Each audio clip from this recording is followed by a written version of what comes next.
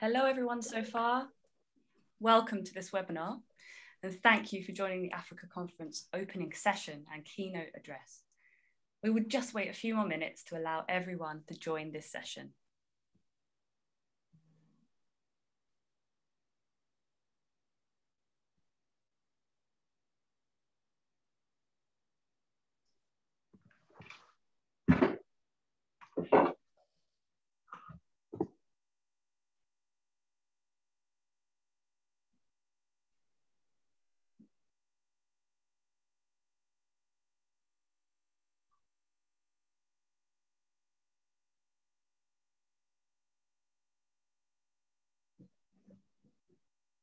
Mm-hmm.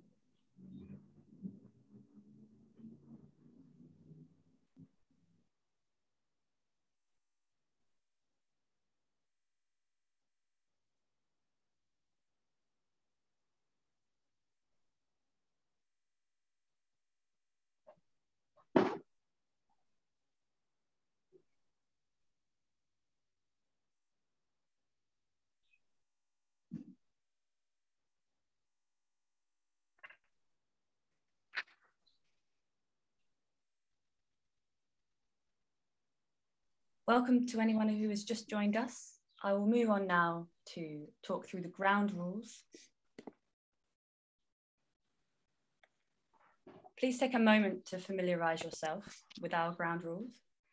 As this webinar is provided with simultaneous interpretation, everyone should select a language room.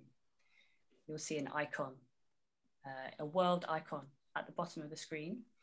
Uh, please select English, French, or Portuguese please chat directly with the host, uh, which is the Publish What You Pay Secretariat, if you have any technical difficulties uh, using the drop down in the chat to selection. Um, feel free to use the chat page and you can select all panelists and attendees in the drop down. And this will allow you to speak to everybody to introduce yourselves. And please use the Q&A section to ask your questions to the panelists. And if someone has asked a question that you are interested to hear answered, then please vote for it using the thumbs up icon. By participating in this webinar, you are agreeing to uphold the code of conduct, which will be shared now as a link in the chat box.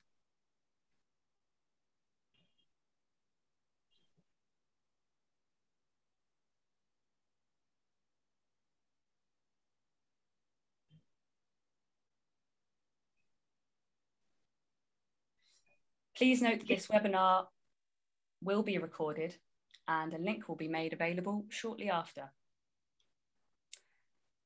Now, if we're ready, I can hand over to you, Demba Seydi, who will now be moderating this session. Thank you, everyone.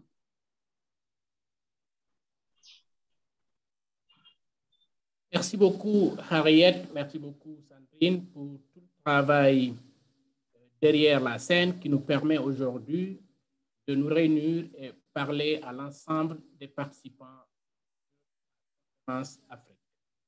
Bienvenue à tous, mesdames et messieurs, en vos rangs et qualités, d'où que vous nous rejoigniez, de l'Afrique, de l'Europe, de l'Amérique et de tous les autres pays où vous êtes.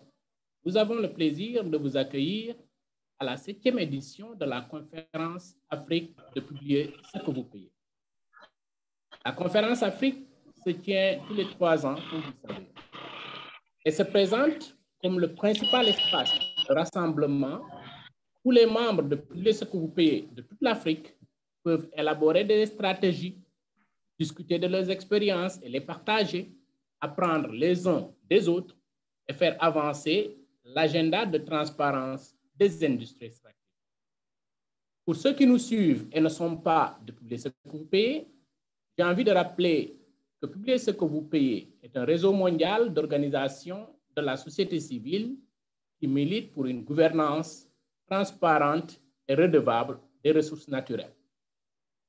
Avec plus de 1000 organisations membres et 51 coalitions nationales, dont 29 en Afrique, notre force réside dans la capacité à coordonner des actions à l'échelle nationale, locale et mondiale, en maximisant surtout notre impact collectif afin que chacun bénéficie des ressources naturelles aujourd'hui comme pour demain aussi. Nous avions l'habitude de tenir la conférence Afrique en mode présentiel. Cependant, comme vous le savez tous, l'année dernière, 2020, nous avons assisté à des développements troublants et sans précédent liés à la réaction de la communauté mondiale face aux menaces causées par le COVID-19, le coronavirus. Des menaces à notre santé, des menaces à notre mode de vie et des menaces à nos moyens d'existence même. Cette situation avait poussé euh, le comité de pilotage Afrique à reporter la conférence Afrique qui était prévue l'année dernière du 6 au 8 juillet 2020 à Arusha, en Tanzanie, pour des raisons de force majeure surtout, c'est-à-dire hors de notre contrôle, pour des raisons de santé et de sécurité de tous les membres et partenaires de publier ce que vous payez.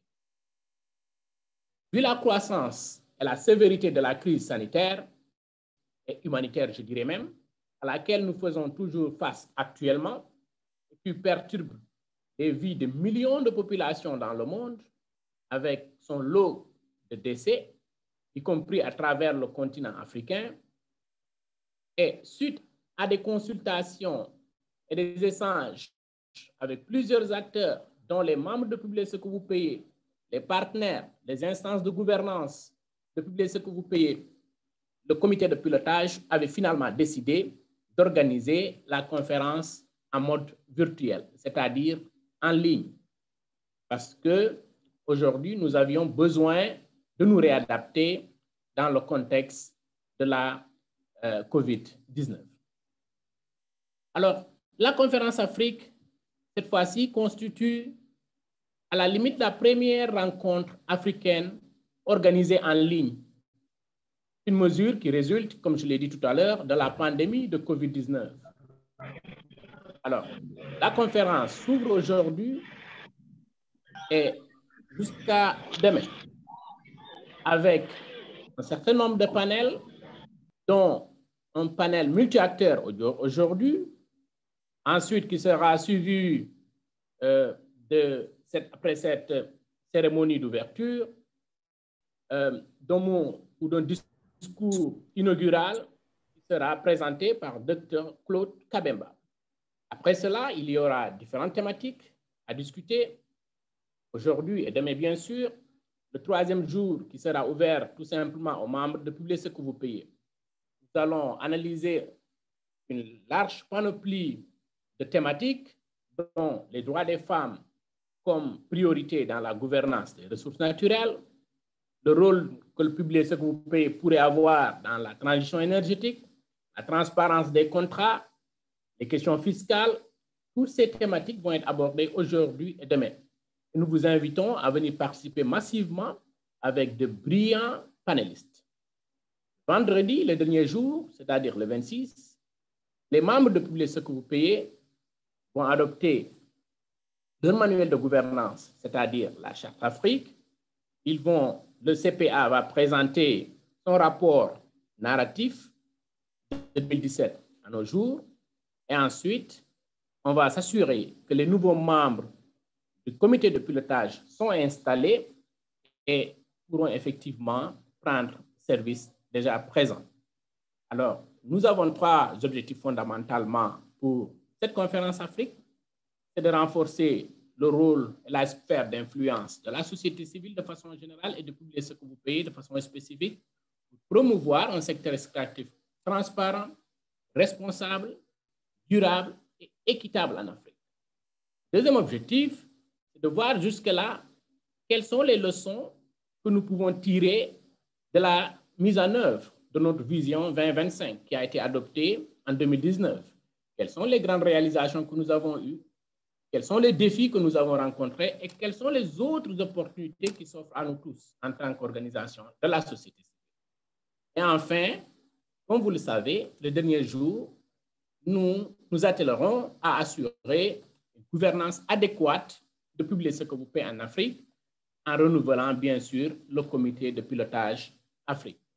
Mesdames et messieurs, c'est avec ces mots que je voudrais tout de suite introduire euh, notre, nos panélistes qui vont d'abord euh, passer par cette session inaugurale dont M. Moutousso Dilao, qui est le président du comité de pilotage Afrique. Ensuite, on écoutera le discours du ministre ougandais qui devait normalement être présent à cette manifestation si elle était tenue en physique. Et enfin, Madame Elisa Peter, qui est la directrice exécutive de Publier ce que vous payez, vous adressera son mot de bienvenue. On suivra bien sûr le discours inaugural qui sera présenté par Claude Kabemba. Je reviendrai sur la présentation détaillée de M. Claude Kabemba. Ceci dit, si M.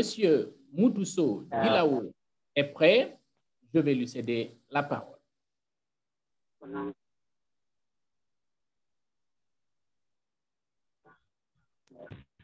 Moutousso, si vous êtes prêt, la parole est à vous.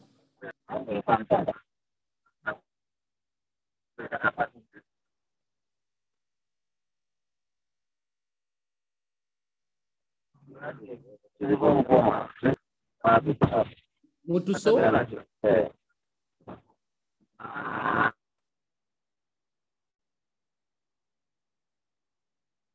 Moutousso, vous êtes prêt?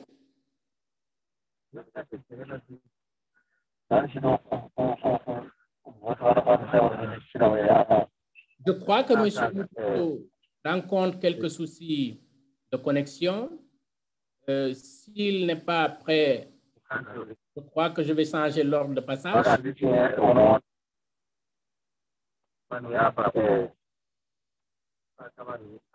Alors, Moutousso, si vous avez des difficultés de connexion, je préfère passer la parole à Madame Elisa et je change l'ordre de passage.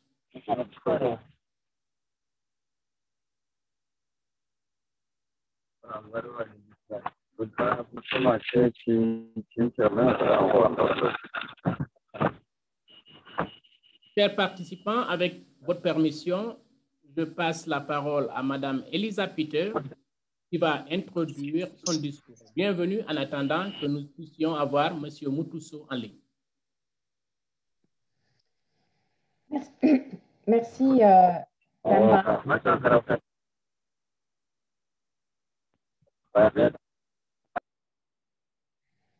I think we need to mute um, somebody. I have, sorry. Thank you. Um, so uh, good morning, everybody. I am going to speak in English because I think there so, some people had uh, trouble getting um, the English translation from Demba's uh, speech earlier. So just to remind all of you that there are languages rooms and I invite uh, the French speakers now to go to the French language room at the bottom of the screen. So thank you again, uh, Demba, for setting the stage and a very warm welcome to all of you to this seventh edition of the Publish What You Pay Africa Conference.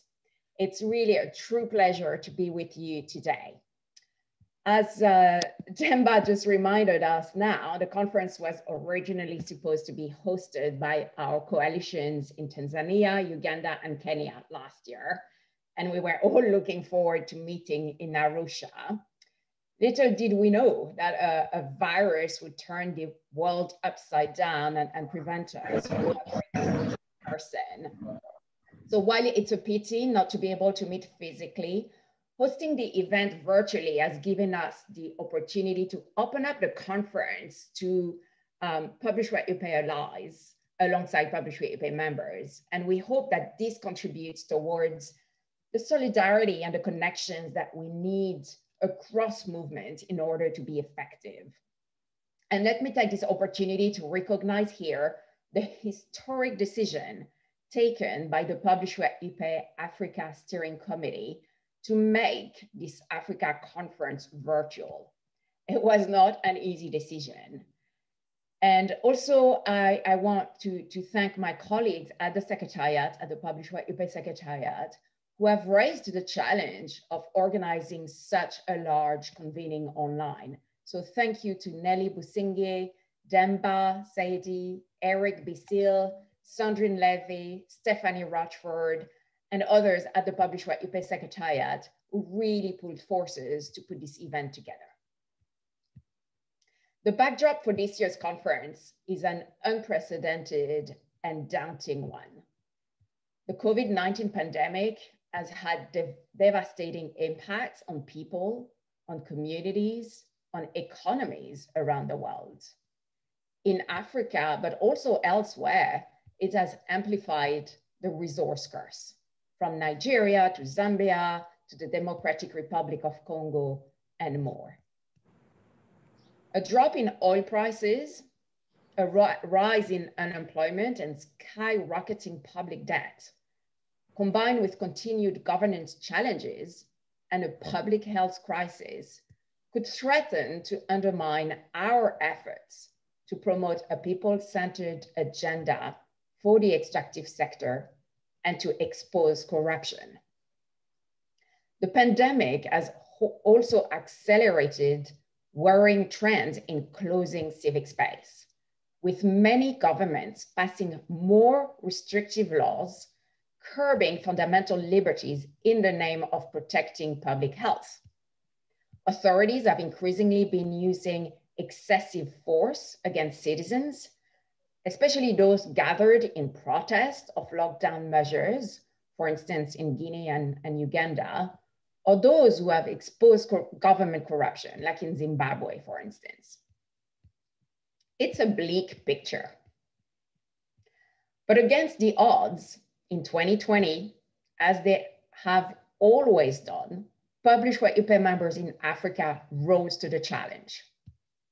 They have continued to show exceptional courage, resilience, determination, and I would like to draw your attention to a couple of examples that have particularly inspired me over the past year.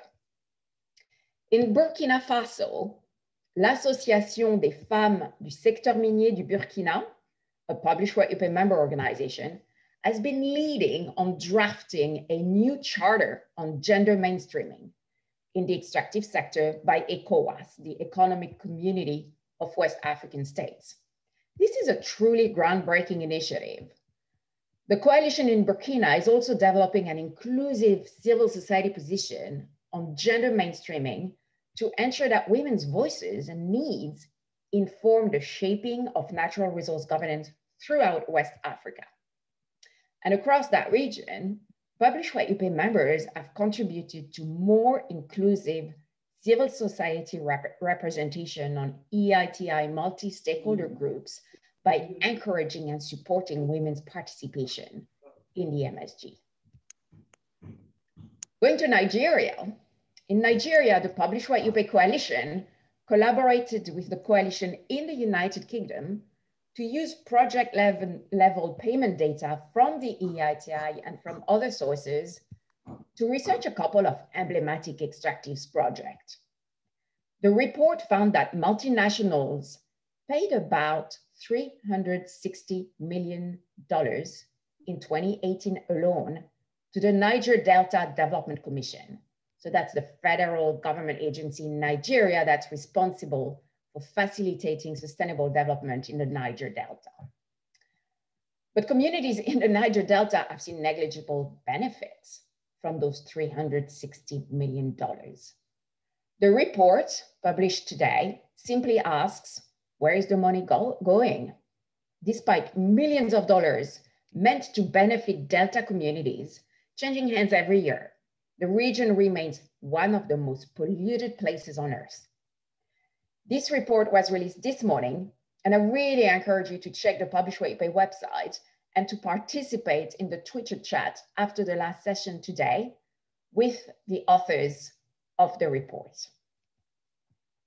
Let's go to Niger. In Niger, in September, three Publish What You Pay members were finally released after spending six months in jail on fabricated charges, following a concerted campaign by Publish What You Pay and other civil society organizations around the world calling for their release. They had been arrested for protesting against the alleged embezzlement of huge sums of public money by the Ministry of Defense in Niger.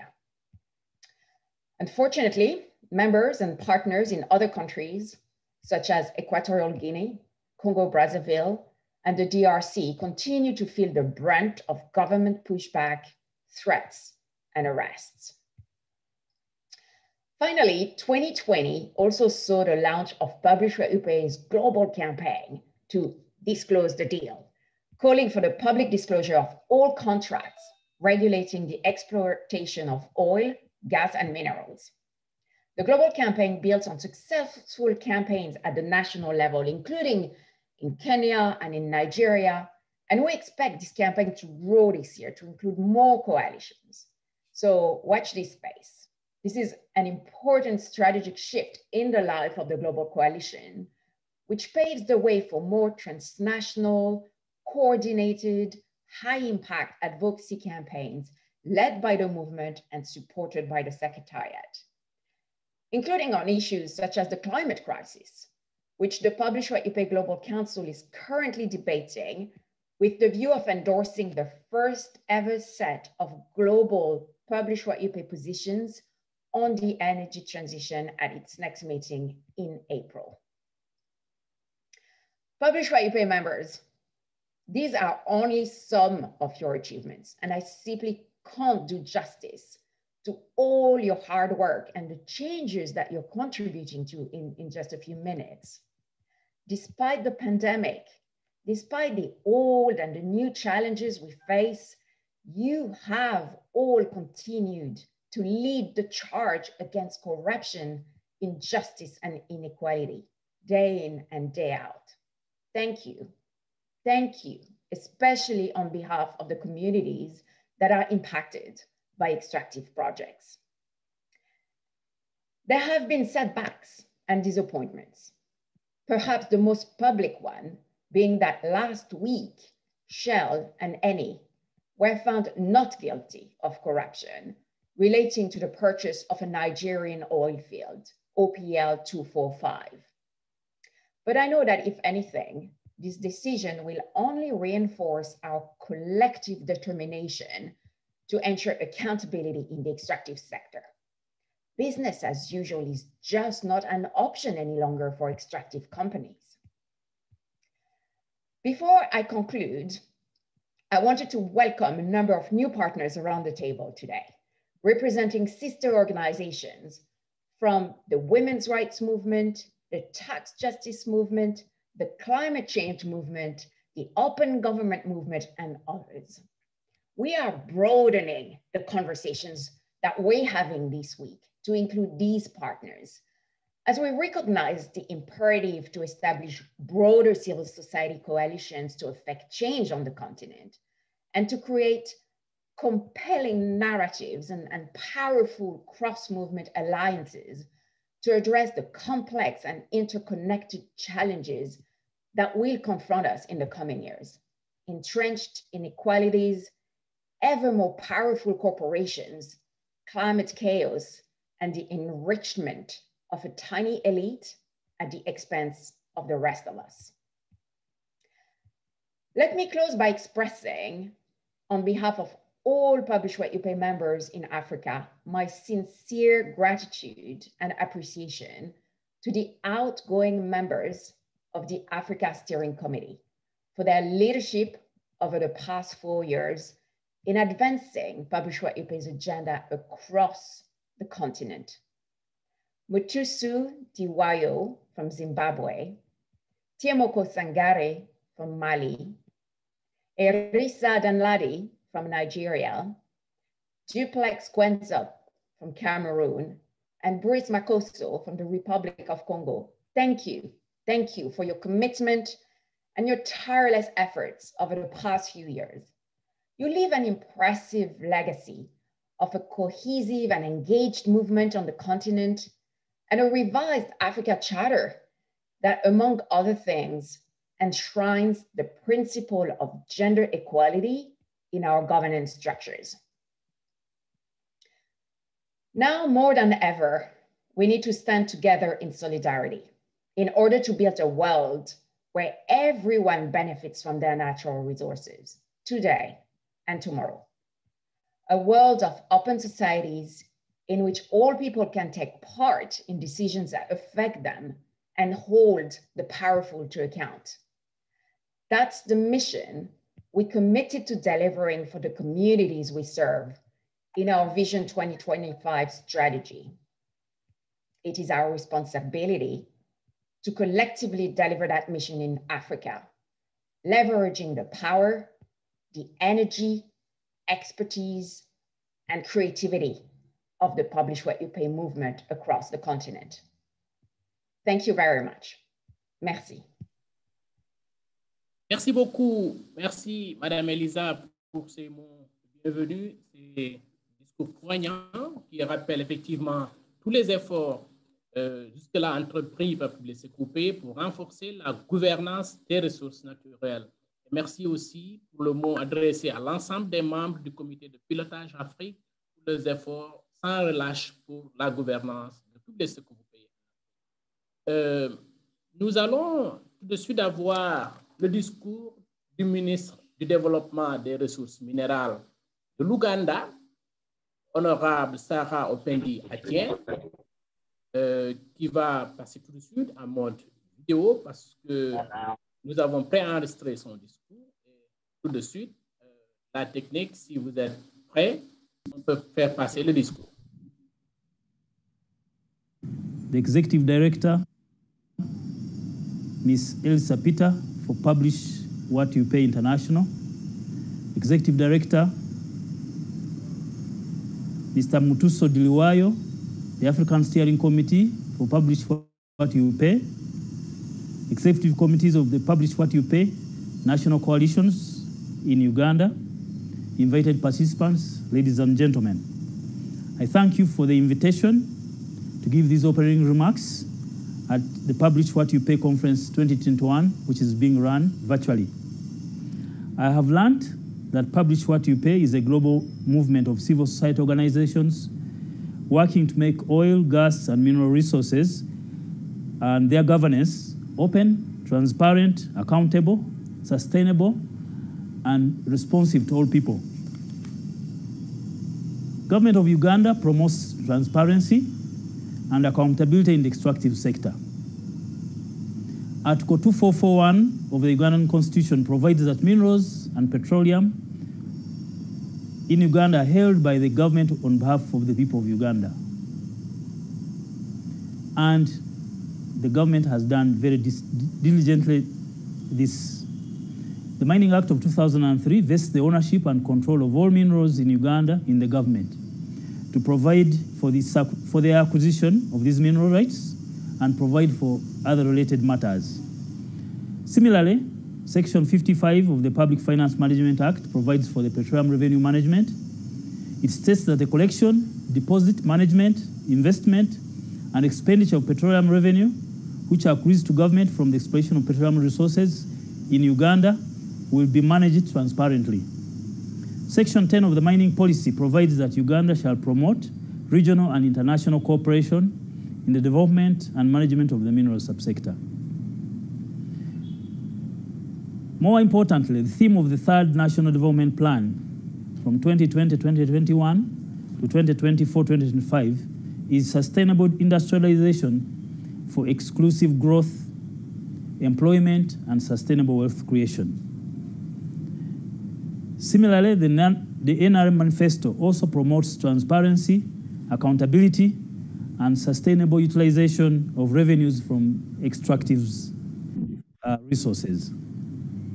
The government of Uganda promotes national, regional, and international standards that promote transparency and accountability, in the extractive sector. At the regional level, Uganda is a signatory to the 206th Pact on Security, Stability, and Development in the Great Lakes region. Protocol 9 of the pact is against the illegal exploitation of the natural resources. And in 2017, Uganda ratified the protocol and is in advanced stages of implementing the regional certification mechanism. Uganda, as well, is a signatory to the African Mining Vision, which is a policy framework established by the African Union in 2009 to promote equitable, broad-based development through prudent exploitation and utilization of the continent, of the continent's natural wealth. In February of 2019, Uganda government made a decision to join the Extractives Industry Transparency International, EITI, and has now established a national multi-sector stakeholder group to steer the process. By 12th August 2020, Uganda was officially admitted to join EITI, having submitted its, can, its candidature application to the International EITI Secretariat in July of 2020. Ladies and gentlemen, Section 6 of the mining policy provides for the role of civil society and cultural institutions. This policy recognizes the role civil society organizations and cultural institutions can play through advocacy, mobilization, and dialogue with communities. The role of civil society organizations in the implementation of this policy shall include A. Promoting transparency and, accountab and accountability among mining industry players while developing and implementing mining projects. The government of Uganda would like to associate with the global strategy for publishing what you pay, Vision 2025, which is a people-centered agenda for the extractive sector. I would like therefore to declare the first Publish What You Pay Africa conference that is being held virtually, uh, considering uh, the ongoing COVID-19 pandemic open. I thank you for God and my country. My names are Robert Kasande, Permanent Secretary of the Ministry of Energy and Mineral Development, on behalf of the Minister of State for Mineral Development, Honorable Sarah Opendi. Merci beaucoup au discours de, du ministre d'État, Sarah Opendi Atien, ministre en charge du développement des ressources minérales de l'Ouganda. Plaisir d'avoir aussi des autorités qui pourraient participer à nos actions, nos activités pour pouvoir effectivement bénéficier des échanges riches qu'ils vont avoir entre les différents participants. Je rappelle encore une fois, après cette cérémonie, nous aurons différentes laquelle, auquel nous vous invitons euh, avec beaucoup de plaisir. Tout de suite, nous allons passer la parole à M. Iwayo, qui est le président du comité pilotage Afrique. Le comité pilotage Afrique est l'instance de gouvernance de la coalition publique mouvement en Afrique, qui est composé de l'ensemble des différents représentants des régions de ce en Afrique. 4 plus le public ce groupé au niveau du conseil d'administration de l'ITE. Tout si vous m'entendez et que votre connexion est établie, euh, vous au nom du comité pilotage Afrique que vous dirigez.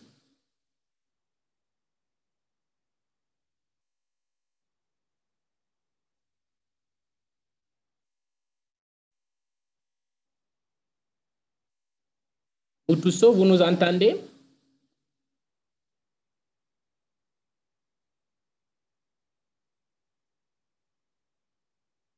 Est-ce que Moutousso, vous nous entendez?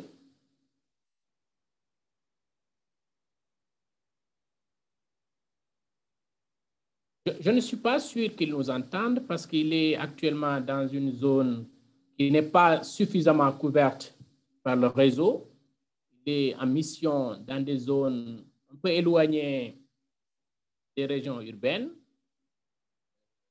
Vous, vous nous entendez parce que nous ne vous entendons pas.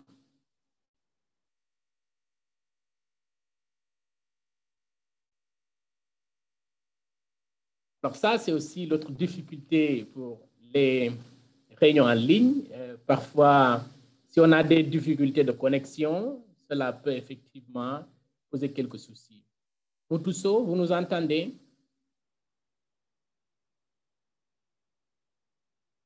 Malheureusement, Moutousso ne nous entend pas jusqu'à présent. Moutousso?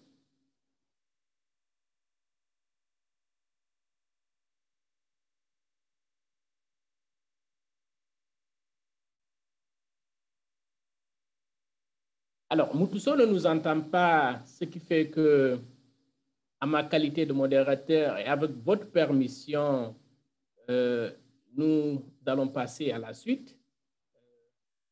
Il est toujours bloqué pour des questions de connexion. Moutousso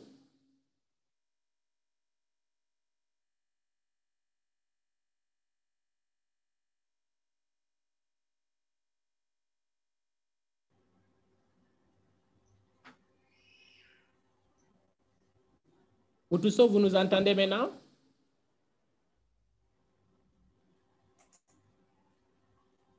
Parfait. Alors, euh, chers participants, chers conférenciers, euh, je crois que nous allons passer à l'étape suivante.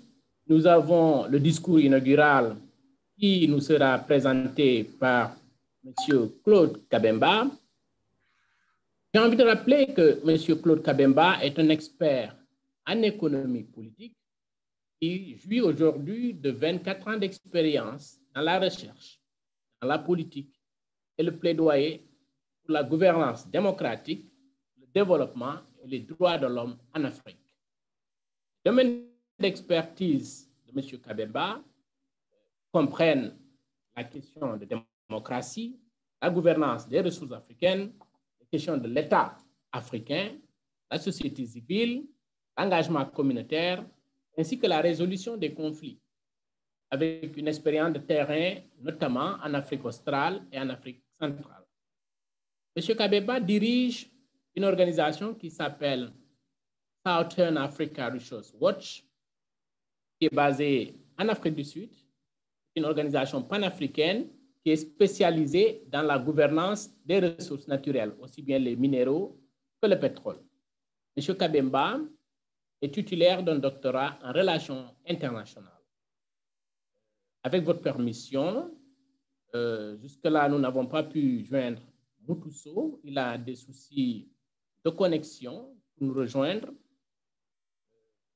J'ai envie de passer la parole à M. Kabemba pour son discours inaugural.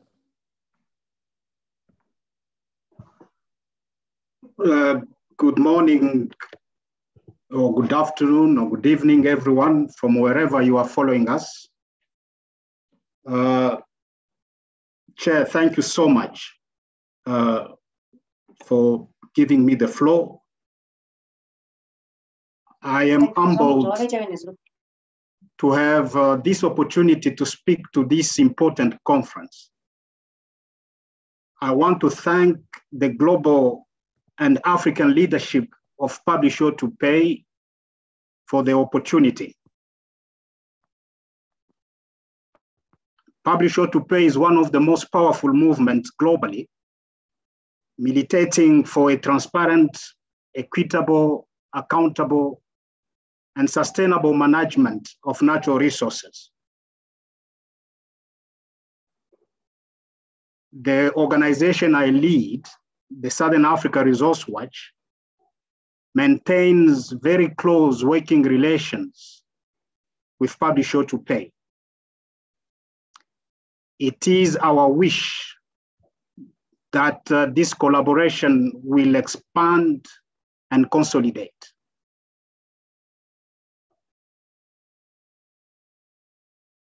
The United Nations Department of Economic and Social Affairs has estimated that COVID 19 has pushed 131 million people into destitution in 2020.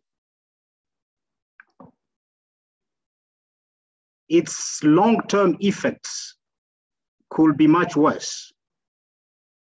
In Africa, this means increasing unemployment, the expansion of inequality, and deepening of poverty. This is happening at the time when the continent is struggling to deal with the high debt and low commodity prices.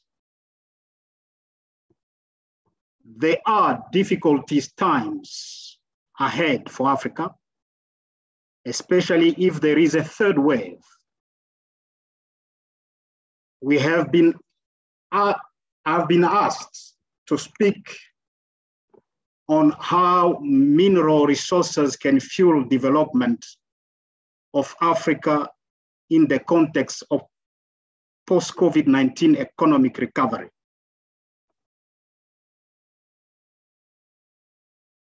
If other nations have used their mineral resources to fuel development, then is there any reason why Africa cannot do the same?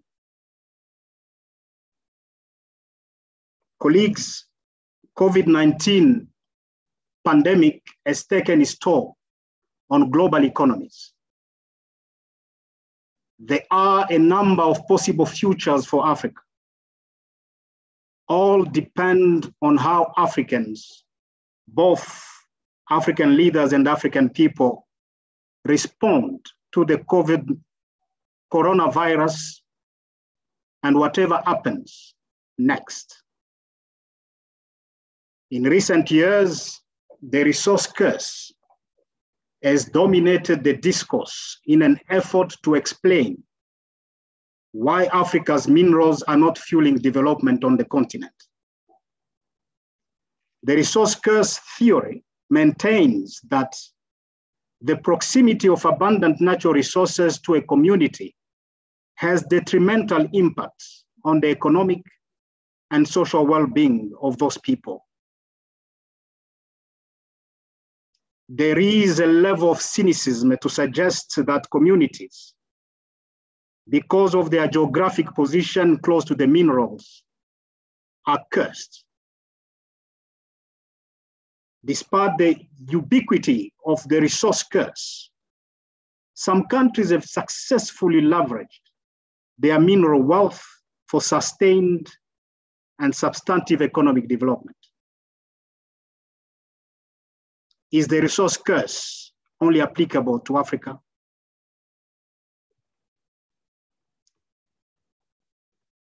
It is a fact that minerals can fuel development. This is what minerals did for Europe. This is what they are doing for Canada, for Australia, for China, for Chile, for Russia, and other many emerging powers. The question is, why are Africa minerals not producing the same development result for Africa? Africans at different period in the history of the continent have asked the same question over and over again and have proposed solutions, but nothing has changed.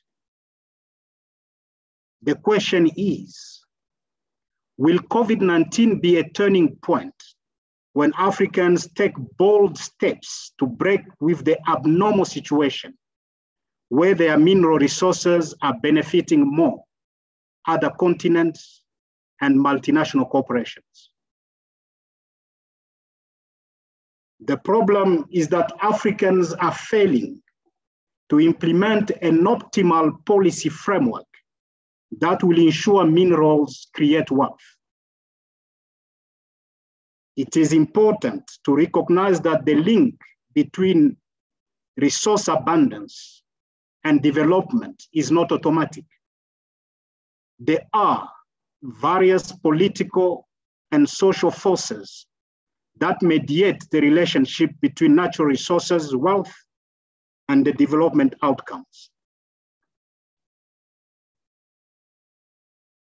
COVID-19 happened in the context of relatively weak economic growth on the continent. For some countries, like South Africa, where I am joining you from, COVID-19 hit the economy when growth was already anemic. I don't expect the exploitation of minerals after COVID-19 to make any dent on poverty inequality, and unemployment unless profound changes are introduced to the current governance model. There isn't much hope that African mineral economies can perform better in a pandemic when they have failed to do so in normal situation. COVID-19 has confirmed what we already know about the factors that undermine Africa's ability to turn minerals into development. These factors are internal to Africa, but are also external, and the two are intertwined. Externally, COVID-19 has exposed the neoliberal resource model in which Africa is trapped as a producer and not a consumer of its minerals. The trade in minerals between Africa and the rest of the world is a continuation of the colonial trade regime. There exists a deliberate structural manipulation of the international trade regime to maintain Africa as a supplier of raw materials. If there is a resource curse, its origins should be found in the, in the neoliberal trade regime imposed on Africa. A fundamental question, therefore, is how can Africa's minerals fuel development if they are consumed by others? Multinational firms from Europe, North America, and more recently, China, still dominate the extraction and rough and refining of most of, of minerals mined in Africa with minimal roles from African firms. Unless we change this relationship between center and periphery, the role of minerals in Africa's development before COVID-19 will be similar during and post-COVID-19. COVID-19 has exposed Africa to dependence on others to draw revenues from its minerals. If others don't want Africa's minerals or are prevented from accessing them, as it happened at the peak of the, of the pandemic, then African minerals have no value. Because Africa does not consume its own minerals, even though it is the continent most in need of them, and because Africa's revenue is dependent on others to buy its minerals. Minerals contribution to development will be no different after COVID-19 than it was before, unless Africa introduces structural changes in the management of its mineral resources. Internally, colleagues, COVID-19 has exposed deep-seated inequalities on the continent between social groups, classes, geographies, geographic uh, locations, and gender. The outbreak of COVID-19 pandemic in March 2020, at least it started in the South, in South Africa, found a vulnerable Africa economy. The growth that a number of countries were experiencing was jobless and faceless. The lockdowns in different countries have left thousands and thousands of people who depend on the informal economy, such as artisanal and small scale mining, without income and shelter. If we consider that the informal economy is the biggest employer on the continent, COVID-19's biggest impact has not been death, although we mourn and regret the people we are losing, but the destitution in which it has put millions of people on the continent. African governments have got no resources to provide a social safety net to rescue people from hunger and destitution more people are dying from hunger and preventable diseases than from COVID-19.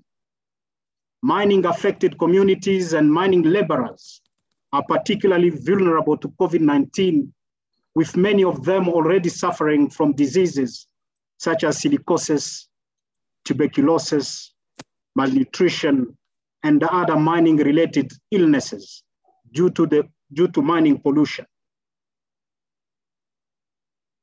COVID-19 has confirmed the multiple failures of corporate social responsibility programs of mining companies. The question asked by Elisa about the money in Niger that mining companies have paid but has not resolved the poverty question raises this fundamental question. Where is the money going?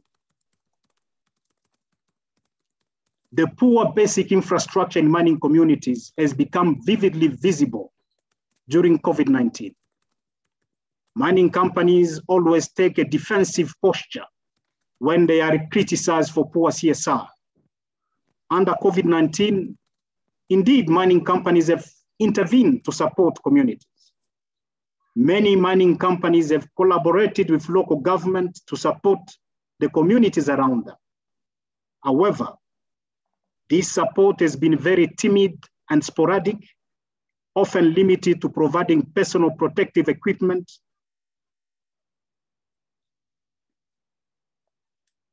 And uh, in that process, many of local communities found themselves excluded from this protection.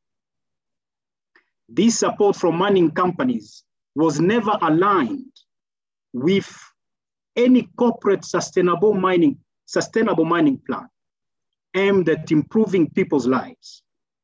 Mining companies failed to seize the opportunity, to seize the opportunity to leverage healthcare infrastructure in these communities and provide clean water.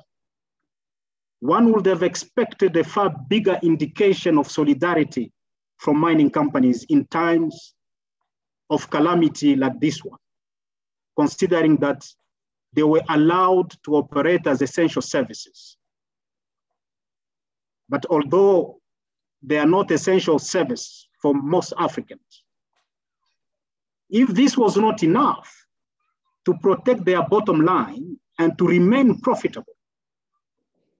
Some companies have violated workers' rights by locking them into mine sites in the name of protecting them from COVID-19, when in reality, this was about securing production.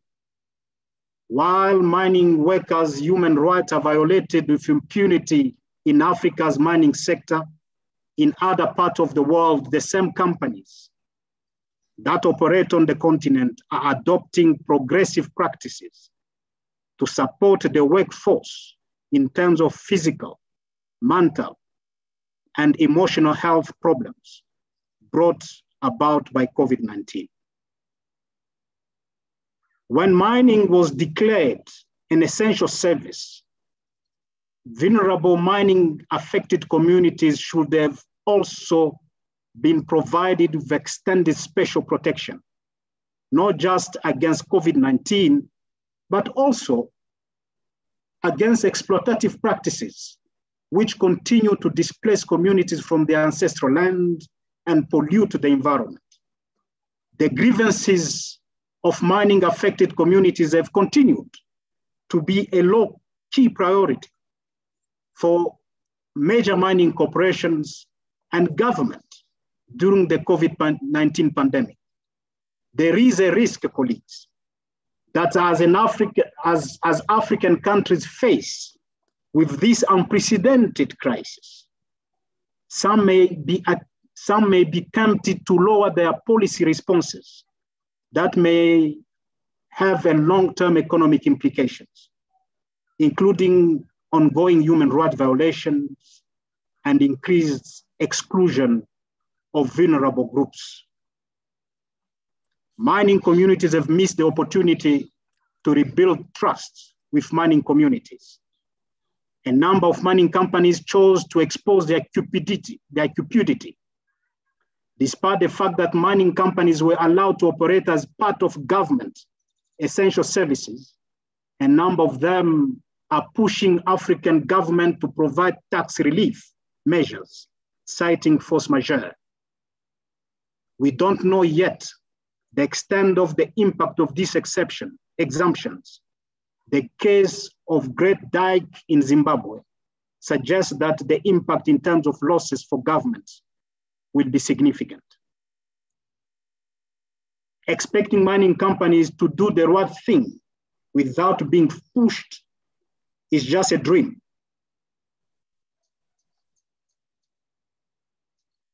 Civil society needs to provide engagement with mining companies. Civil society needs to, pro to prioritize engagement with mining companies to provide better support to mining communities and mine workers. COVID-19 is not the last in the line of pandemics. Mining companies must invest in long-term healthcare services and integrate communities as part of their operations to ensure that they benefit from clean water, safe energy, uh, secure energy, and better healthcare. A long-term solution is to ensure that mining communities are shareholders in the mines with direct royalties paid to them to invest in their own development.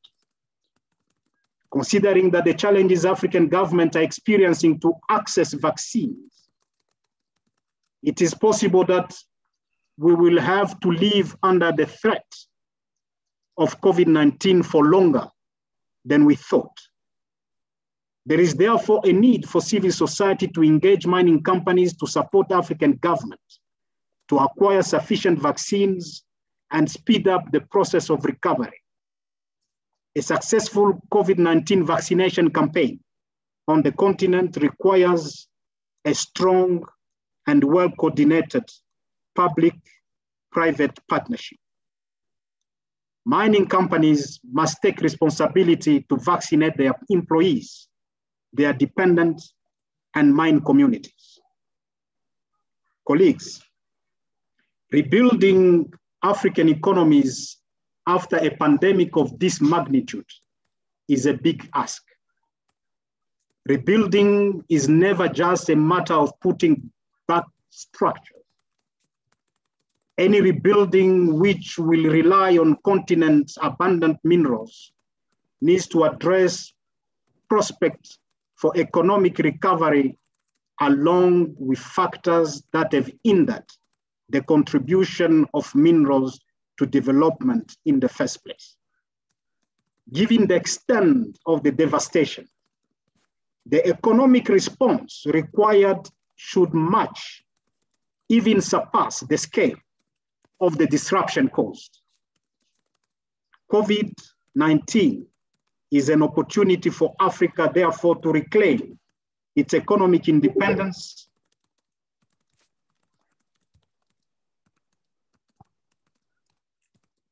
and provide its own economic development model.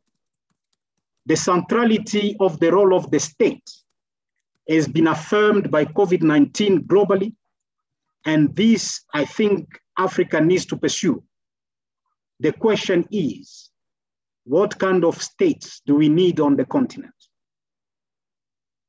In recent times, we have seen the reverse of democratic advances with the increase of authoritarian government across the continent, closing space and making it difficult for civil society and human rights defenders to demand transparency, accountability, and respect for human rights during the, the ongoing COVID pandemic, state of emergency has become a tool for the violation of fundamental human rights. Civil society in general, and Publish What You Pay in particular, needs to push back its energy and determination. Africa, in Africa, politics determine how resources are negotiated, extracted, commercialized, and how revenues are collected and allocated. We know that most of the time revenue allocation is into private pockets. For mineral resources to fuel development, Africans will need to fix the relationship between politics and minerals by vigorously defending democracy and fighting corruption. The internal mismanagement characterized by deep-seated corruption is the main factor that is weakening the African state. Corruption is the roadblock to growth and development in Africa. It is estimated that 88.6 billion dollars is drawn from Africa annually, approximately 3% of Africa's GDP because of corruption and illicit financial flows, with the most vulnerable sectors being extractive industries, telecommunication, and financial services. Colleagues, I draw these uh, numbers from a recent organized webinar by Trust Africa, which has uh, the participation of some of uh, uh, uh big organizations that uh, follow closely the illicit financial flows, including third world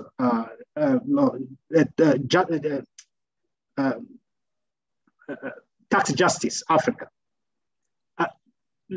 corruption is a significant factor, colleagues that exposes mining communities to exploitation and exclusion. African governments do not have the power to externalize costs to other jurisdictions. The costs are externalized on their people, creating permanent tension and instability. This is different from foreign mining companies and foreign governments who have the power to externalize costs beyond their political jurisdiction keeping their society stable.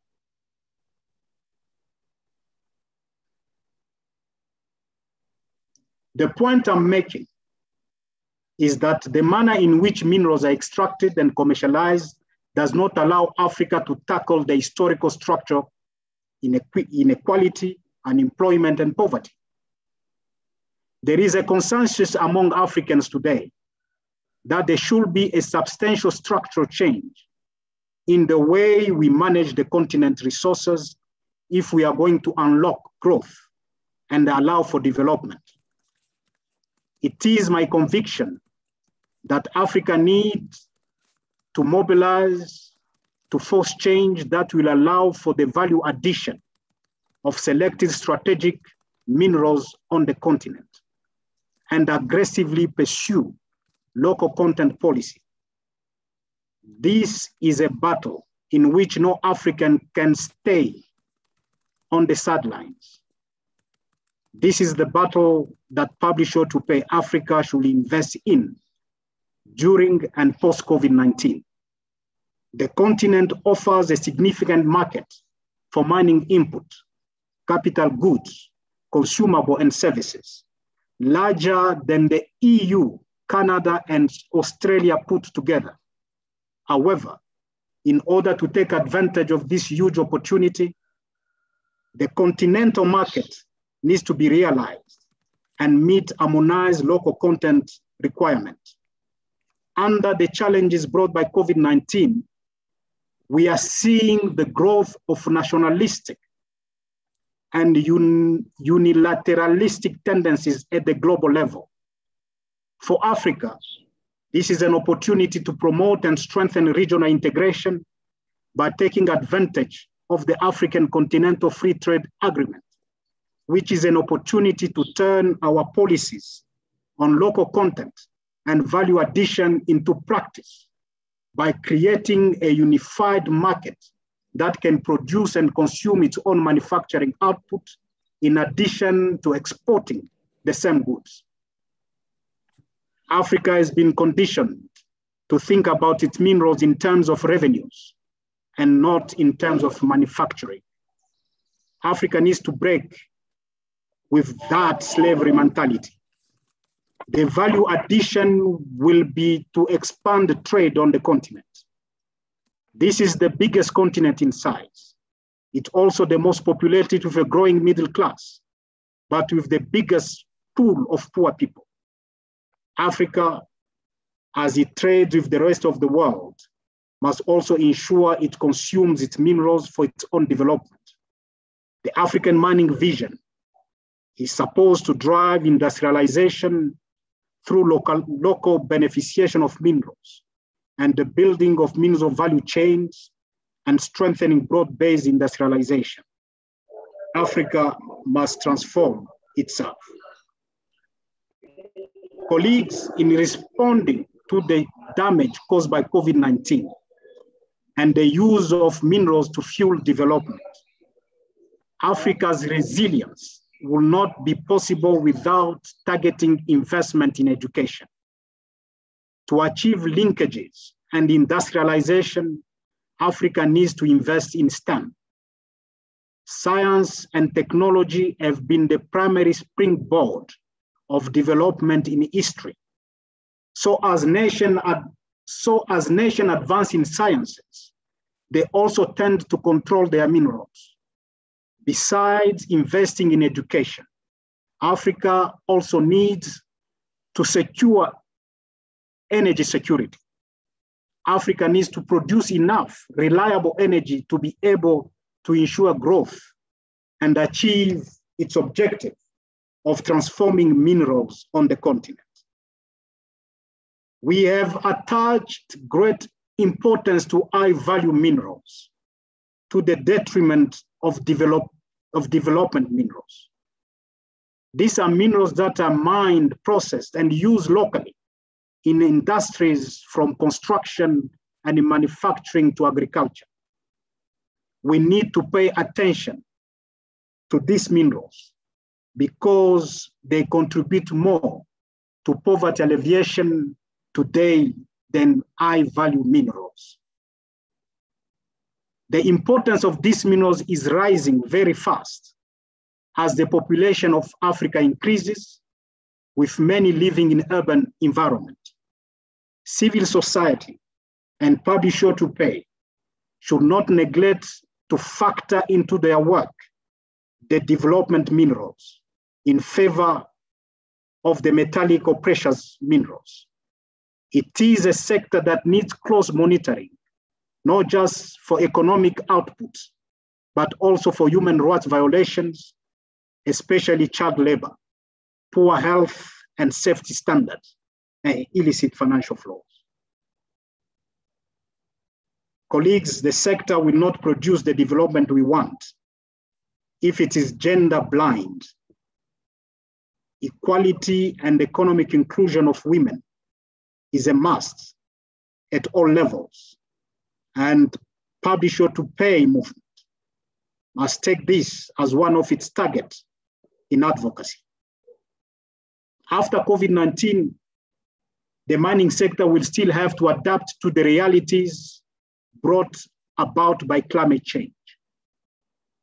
Climate change is one of the most complex and urgent issue currently facing the world due to its impact on the environment and human beings. Africa is the most affected by climate change, although it is least significant polluter.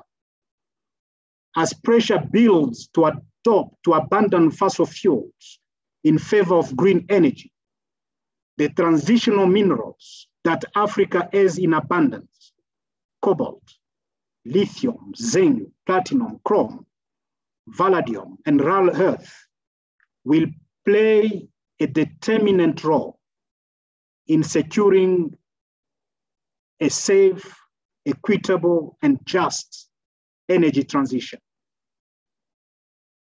Access to and control over these minerals are already causing tension between nations.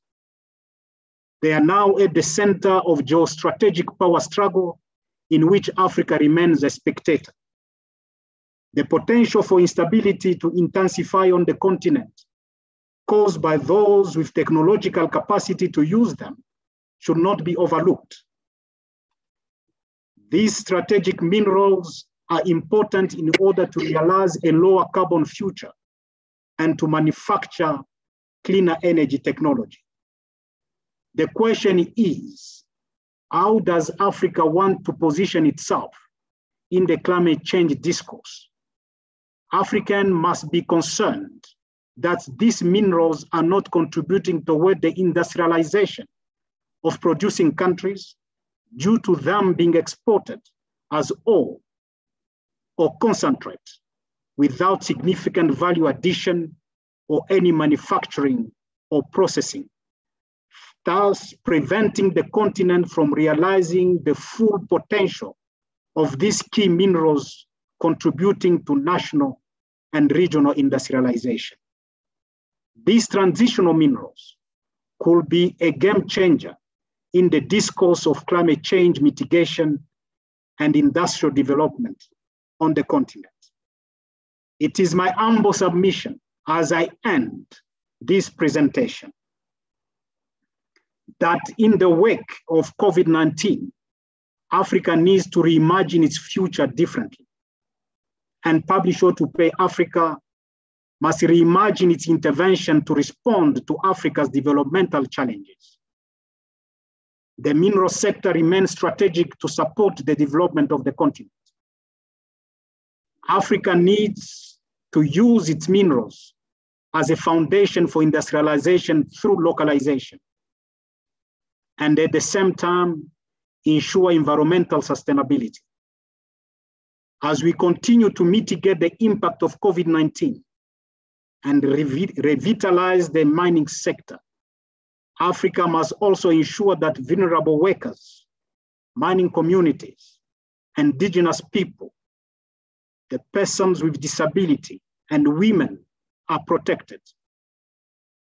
Africa needs to be more aspirational. Africa might need a different type of leadership that will accept and pursue a collective development future inside Africa. As President Magufuli of Tanzania demonstrated. I take this opportunity to present on behalf of African civil society our deepest condolences to the people of Tanzania. We also congratulate the new president, Ms. Samia Suluhu Hassan, and wish her well as she continues where her predecessor left off. Colleagues, Africa must see COVID-19 as an opportunity to not fear the future, but to understand and own it.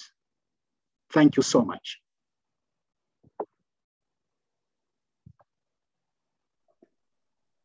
Uh, thank you so much, Claude.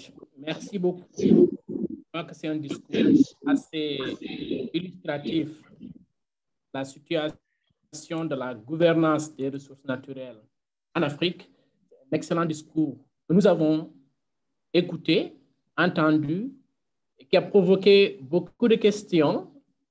Um, we have a great list of questions, um, but the, the transversal issue raised by most of participants is about how natural resources can fuel the development of Africa.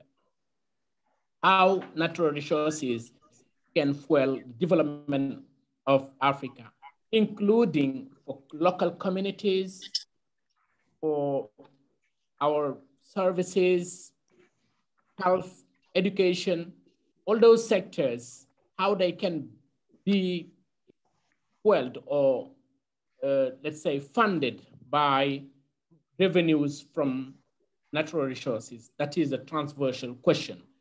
Two additional questions. One is about corruption. How can we win the fight against corruption? The other question is, can we use the African mining vision as an effective policy to change how African countries deal with the natural resources and manage it? The last one is about energy transition. Someone said, isn't it time for Africa countries to diversify their resources and invest more on renewable energies? These are the, let's say, the transversal questions which came from all the speakers. So Dr. Claude, I can give you around three to five minutes to answer to those questions. Thank you. Thank you. I, I think uh, for the first question, how can mineral fuel development? I think uh, some of the elements have been uh, I referred to in my speech. The, there, there are two things. I think we need to learn from uh, those who have uh, used their minerals before us and how they did it, you will see that all the countries and continents have used the same approach. Is really to use minerals first to provide low, to, to, to build uh, industries and produce goods, which then they can export and use locally. Now, Africa has not done that. Africa is only focusing on one leg, that of uh, taxing the, the exploitation of minerals. Revenues are important, and uh, if utilized properly, can also support development.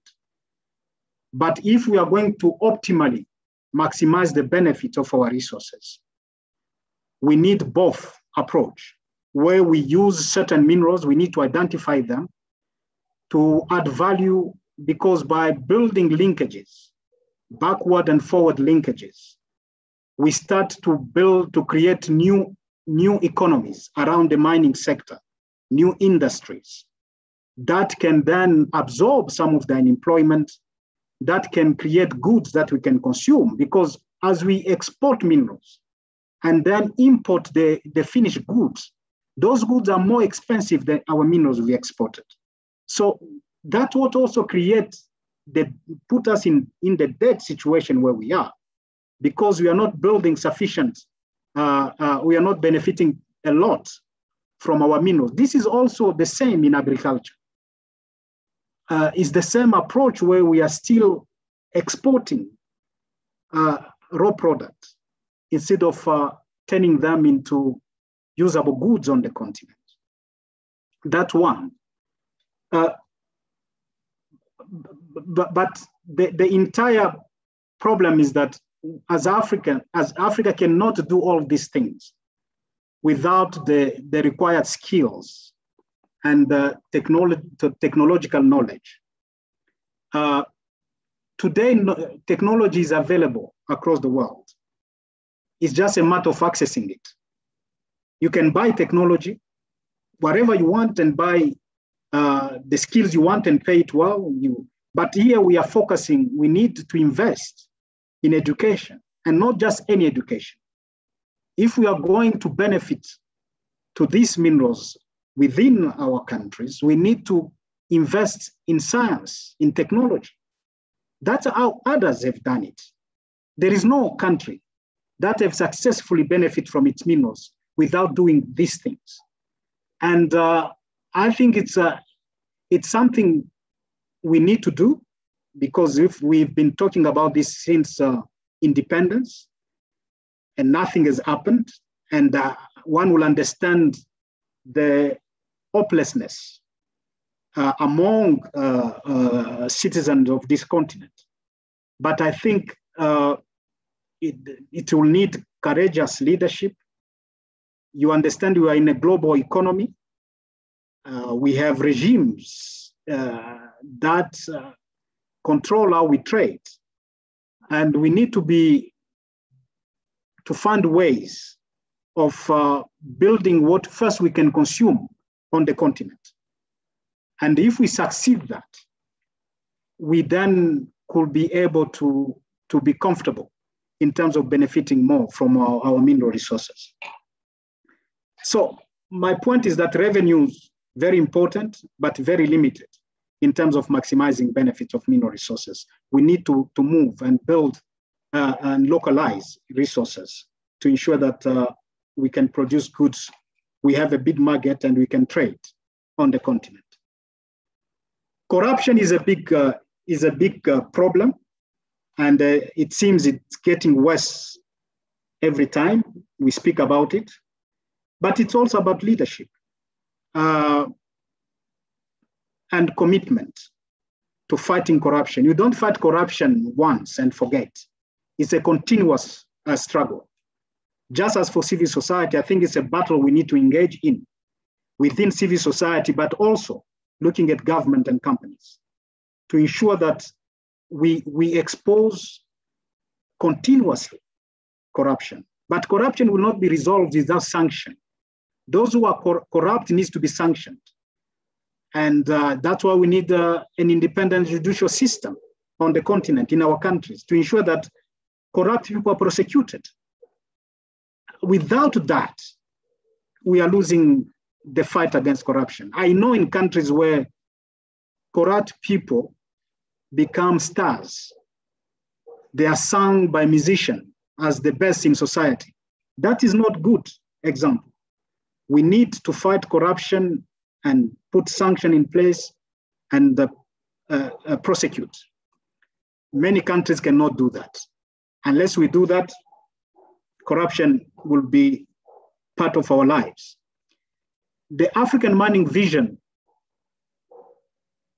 its effectiveness. Look, it is a, it is a more progressive vision, which speaks really to all the issues we are all concerned with, from uh, uh, transparency in terms of uh, across the entire value chain in the mineral sector.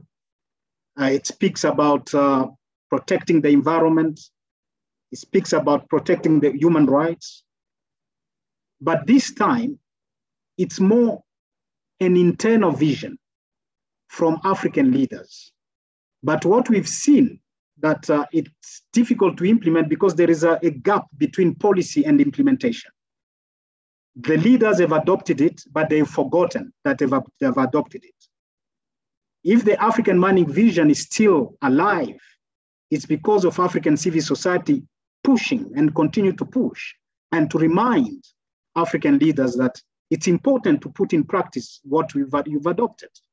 And that is the struggle we need to engage in uh, continuously to ensure that it's implemented.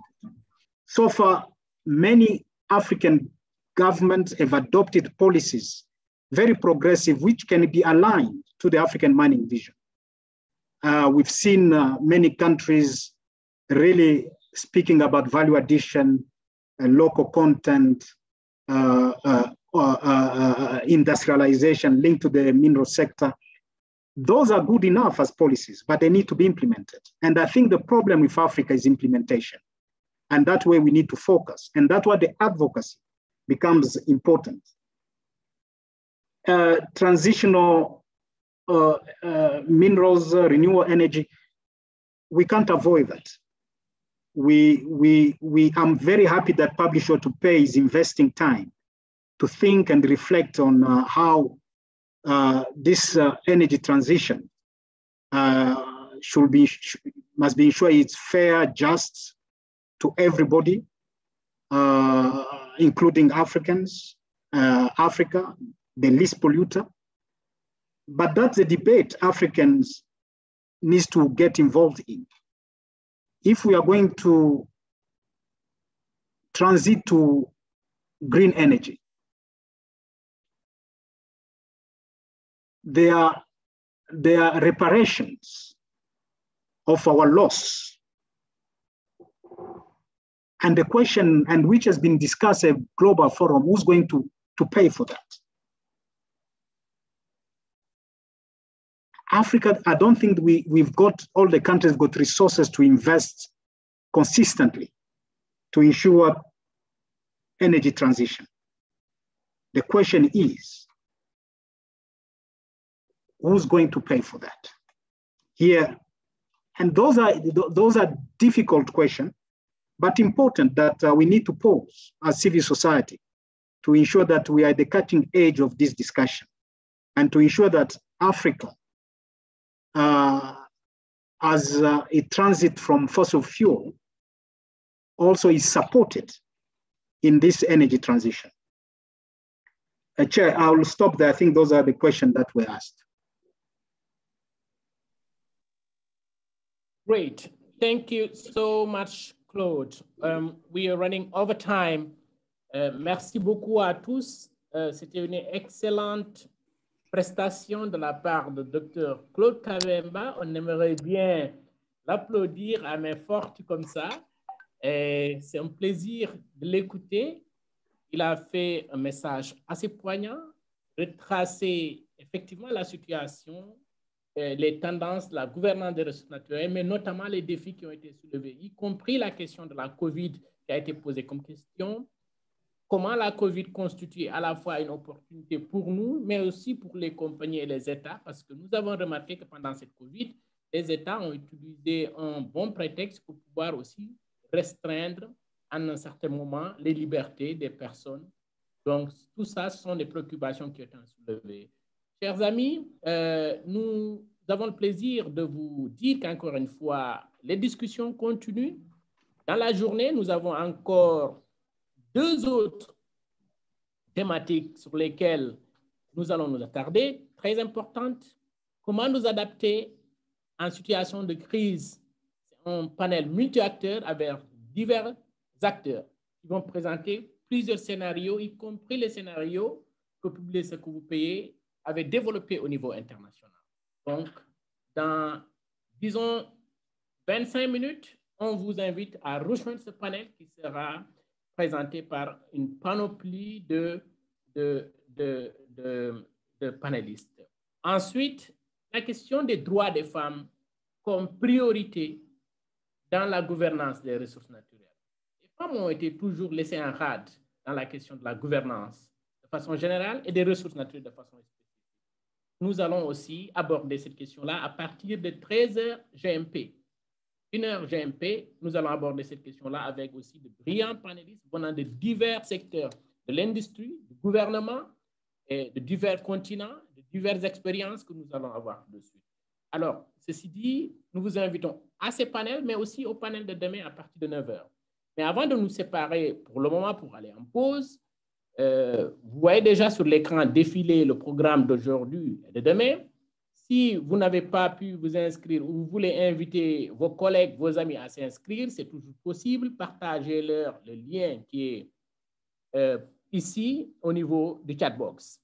Et enfin, chers amis, je voudrais, pour les questions logistiques encore, renvoyer la parole à mes collègues et amis, Sandrine, euh, vous avez au moins passé pour les questions logistiques, pour euh, une petite enquête? De satisfaction. Merci Demba. On vient de mettre les liens dans le chat. Comme ça, les gens peuvent euh, cliquer dessus directement et l'enquête sera aussi directement en anglais à la fin du webinaire. Donc, c'est bien pour nous. Merci beaucoup, Demba. Merci beaucoup, Sandrine. Donc, chers amis, cliquez sur le lien dans le chat, ça vous permet de répondre à une petite enquête de satisfaction de une minute maximum. Et ça vous permettra bien sûr de nous donner votre feedback très rapidement pour que nous puissions savoir comment continuer avec la suite. Vous avez peut-être une ou deux minutes pour le faire et c'est vite fait.